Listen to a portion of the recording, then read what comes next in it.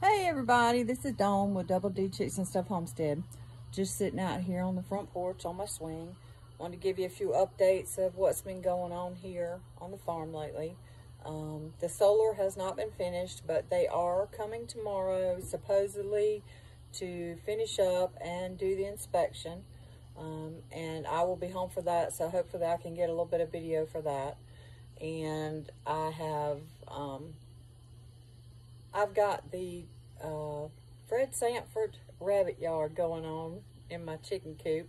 Um, waiting on the man. He's building me a new rabbit hutch with eight hutches on it, as well as building our new um, quail enclosures. We're getting two of those um, to put our bob whites in and our, our Coturnix.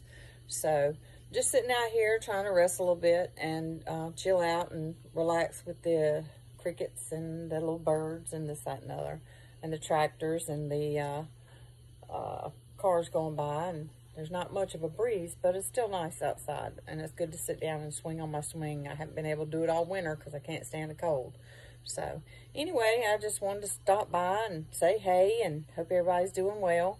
Um, stay tuned for more. I've got some more things coming on and um, kind of excited about getting the garden started. I did start some video last night of uh, how I'm doing my seed starts.